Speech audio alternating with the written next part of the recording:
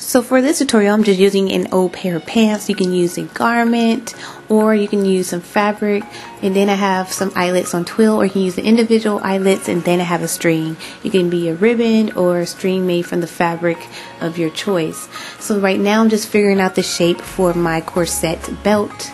Um, also want to add that if you, if you do it this way on the pants, you are going to have to sew it. So to avoid any sewing, if you want to do like a no sew project, um, you can just cut it out like it is illustrated on the t-shirt and then you can hand stitch that twill tape. So now I'm just cutting everything out and pinning it together and right now before I pin that together I have took my measuring tape and uh, measured around my waist to how wide I want the corset belt to be because I do want an opening in the front portion where the strings are going to attach.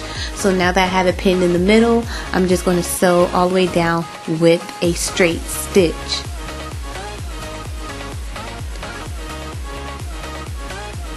Once you have it sewed, it should look like this. You can press it down and top stitch or you can leave it as is.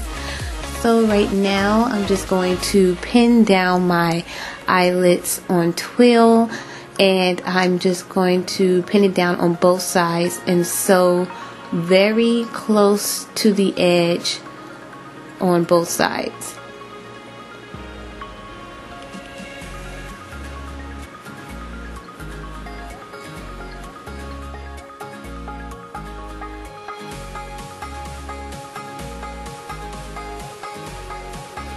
Now that I have it sewed, it should look just like this. Now the last step is to put your strings in your eyelets.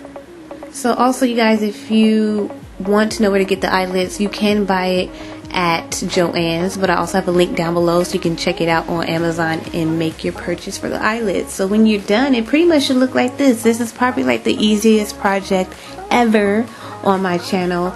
Um, like I mentioned before, you don't have to use fabric. You can use an old t-shirt, which will require you no real sewing, especially if you don't have a sewing machine, and you can do this by hand. It's really easy. I hope you guys enjoyed this tutorial. If you did, make sure to share, like, and subscribe, and I'll see you next week for a new video. Bye.